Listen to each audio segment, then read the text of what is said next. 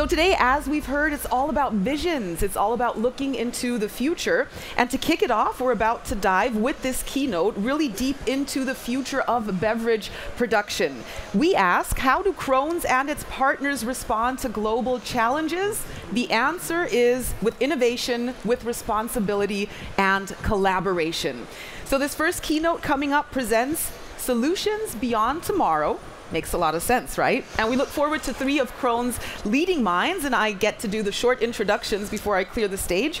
First of all, we have member of the executive board of Krones with passion to lift the industry to the next level of efficiency as well as sustainability. Please welcome Markus Tischer.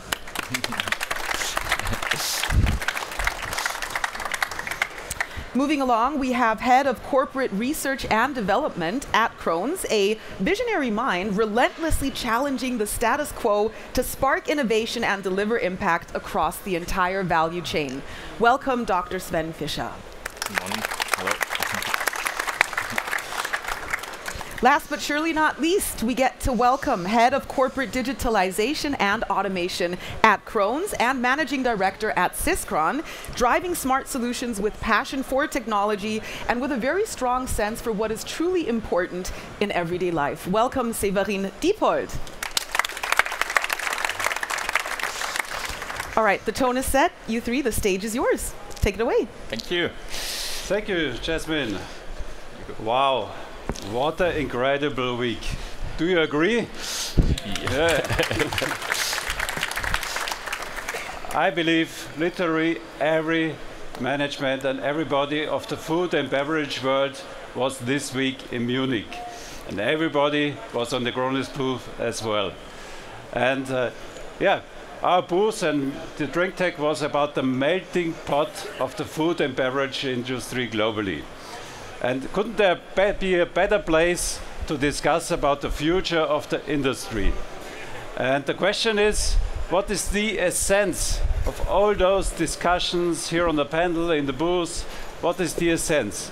And of course, there have been a big variety of topics depending on the category, depending on the region, but we believe there are really some universal patterns, like reducing waste, how can we produce without any waste? Or efficiency, how can the plants run at the utmost efficiency and on the other side be extremely flexible to the changing demands of the customer? And overall, how can we produce to the lowest possible cost, the lowest total cost of a package and a good? And of course, how do we apply all the possibilities of digitalization, like AI, like robotics. How can we apply that in our Erste industry? And it might sound a little bit like, uh, yeah, like a future. But the good news is, we, it's not that far away that you might think. And if you walk through this incredible booth here at Krones, you might get a glimpse in of the future if you see our new Ingenic line concept if you see the brew house without energy, autonomous brew house, or the, if you see the circular PET economy in the other hall, I think you get an idea about the future, about the sol solutions beyond tomorrow. And this for Krones is not only a claim, it's our vision.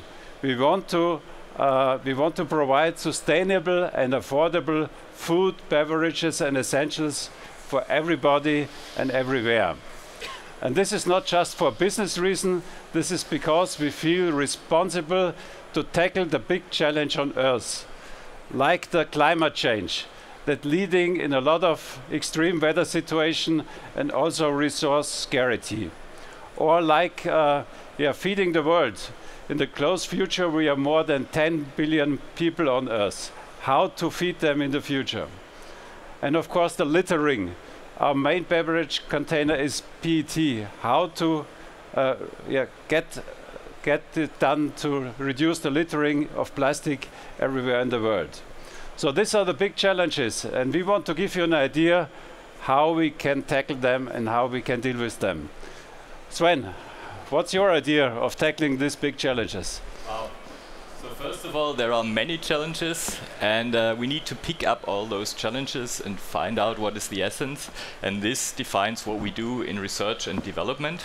And uh, everything that you see here, more than 40 exhibits, they have something to do with sustainability reducing energy consumption, different materials, different packaging, different products in future, and that all uh, changes the way we develop. That all changes our solutions, and this is why we undergo a product transformation internally. And we have started three years ago with that product transformation, and here you can see the first results. But this is only the start. So we have a pilot line. How we think we go into the future, but this is much bigger. So we saw that one line is not sufficient. We have to balance energy, for example, in many lines. We speak about embedded lines, and it's even more. We have to speak about the whole thing, and this is what we want to do today, speaking about the whole thing. And that leads us to a factory or even connected factories. How are the factories working together? Yeah, this is my part. So also from my side, warm welcome. I'm I'm so impressed, uh, in particular, of the feedback of our customers. And as I said already, it's so impressive to talk to everyone and to yeah discuss are we on the right track or not. And as Sven said, um, we have showcased our Krones World, which is the central platform around uh, our Ingenic line, which basically brings our customer and us together where we can collaborate. But thinking to the future, exactly like Sven said why not having a Krones World um, not only for one line but for a complete plant or even further for a complete fleet of plants and this is exactly what uh, we're definitely discussing internally but also with our customers and the request from our customers is massively to have a seamless integration of a fleet of plants into such a platform like Krones World and of course, there is uh, a lot, uh, a lot of open questions still there, but um, bringing all together will bring a lot of added value and will help us to solve the question Markus raised in the very beginning, because um, yeah, I, I, I, wrote it also down on my on my slide. Um, we can, for example, utilize then AI to the full uh, extent, only having everything into this ecosystem. And uh, with that, I will hand over back to Markus. Um, how the solutions of tomorrow um, you think could look like. All right, you know, quite big challenges, and uh, I think you already got a smell.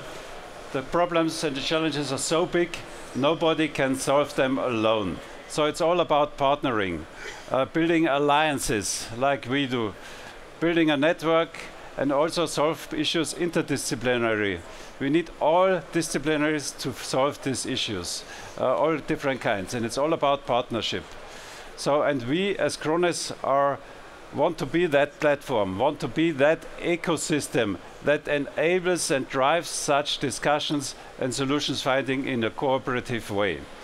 And uh, yeah, in order to get a little bit deeper, let's see how we do that. Sven, maybe you explain a little bit. Right. So we tried to uh, design kind of big picture, and this is this factory of the future that you see here.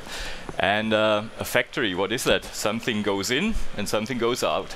In the case of our customers, it's the raw materials, whatever kind of raw materials, and uh, finished product goes out. The way it goes out, that's already being discussed. Are these single pallets or is it uh, commissioned uh, packs or whatever. So that's already the first big uh, uh, thing that we uh, think about because it's all interconnected and we will come to that. But for now it's important something goes in, something goes out and we have to think of all the different flows in there, the material, the fluidics, the information, everything that is in there. This is important for us and leads us to the next picture. So it's not only in and out, but it's also in circles. And there are small circles, and this is energy, for example. Energy is circulated within this factory, and we have to collect all the sources and all the sinks of the energy and have to combine them intelligently to make this a self-sufficient uh, plant of the future. And you see a little bit bigger circle. This is the circle for water and media. And we have uh, water treatment and then we have wastewater and then we treat it again so there is hardly any water leaving this plant of the future so everything recircled reused that's important and then there is a massive circle we speak about recycled packaging, uh, packaging that is good for recycling. And all these packages that go in, that's a side stream in there, they need to go out, be recycled, and go back in. We have done this with a PT circle, and we think uh, this uh, needs to be done, of course, with glass, with aluminium, with fiber-based packages like our LitePac Top, and all the materials that go in need to be recycled, smaller or bigger. So that's the circular motion. But they're small, and I would like to hand over to um, uh, ah, forgot one thing. So again, so we think that um, technology is moving fast, and also uh, we see that our customers' products are moving fast. So there are ever more SKUs, so different products. They have a, a, a, a yeah, shorter lifetime, and there's even more innovation, and we have to accommodate that. So our plants of the future, they have to be even more modular and flexible. So we have to be able to expand that, reuse the utilities, put the next part in, and that needs to be like a, a little bit of Lego factory where you can expand and adapt and uh, do that much quicker than today. And this is a very important part of this plant of the future. But now I would like to pass on to you, Severin. Sorry. Thank you, Sven. So as I already said, I mean, when we talk about uh, a plant of the future, but even a fleet of uh, plants of the future, it's key essential that these plants um, are kind of standardized in terms of automation and digitalization. So when I talk about uh, standardized, I'm talking about these, the interface between the plant and let me call it the digital ecosystem. So the API, which is the interface from a plant to the ecosystem, this is uh, essential and crucial. So we need to take care that this interface is always the same from plant to plant because if this interface is not the same and we have a fleet of plants, this makes it uh, really complicated. And of course, it's not just the plant is talking to the plant and the plant is talking to a yeah, ecosystem which is above the plants, but it's also talking to us, for example, as a vendor of uh, as a vendor uh, for for equipment for our customers. But of course, this ecosystem ecosystem needs to be open also for other vendors. Uh, so it's I, I, think it's really important that this is kind of an open ecosystem where everyone can contribute, and only by opening up this ecosystem, uh, we will achieve and we can uh, yeah we can achieve what what what we discussed uh, to to solve the challenges we have out there. And I think we're on a great way. Um, we, we already proved that this ecosystem for a line is possible. Maybe on next drinktec we can prove to have this ecosystem for a plant or even for a network of plants. And uh, with that, I will hand back um, to Sven. Right. So inside the plant, what will be there? So we will see a lot of automation. We will see a lot of robotics, AGVs, AMRs moving around, and uh, this will be different from now. You can already see something here, the autonomous material handling for uh, the secondary packaging for the labels and all that. So uh, this will be much more automated. So we don't speak about operators anymore, but we speak more about supervisors. Mm. And they uh, control and have a look what is going on in this factory, in this very flexible factory. And we have to take care about these people that are in that factory. And they need to be guided by means of digitalization. They need to know in this massive technology uh, plant, uh, they need to know what to do, where to go, uh, and they need all the help. And this is why we think the plant of the future needs to be human-centered in design and easy to find your way around. So we want the people in there really to be happy and to like to work in this factory. This is how we want to keep them. We want to upskill them with all the support that we have and make them, uh, put them into the position with all the means that we have, augmented reality, virtual reality, support from far uh, networks. We want to support them as best as we can. So that's our idea on how that looks like inside. Let me add something because um, I mean this slide was created before we started with the drinktec, and after the discussions, I'm not sure if there will be such a terminal anymore in the future. so let's see uh, how, how this will develop. All right. Um, yeah, let's draw the picture I have in mind after listening to you. So I see in my mind a, a production that is completely circular. literally no waste. Everything is reused and yeah, getting back into the, into production. And the plant is modular. It can be adapted very easy to future needs, new things, and it's standardized in order to keep it up and running and stable.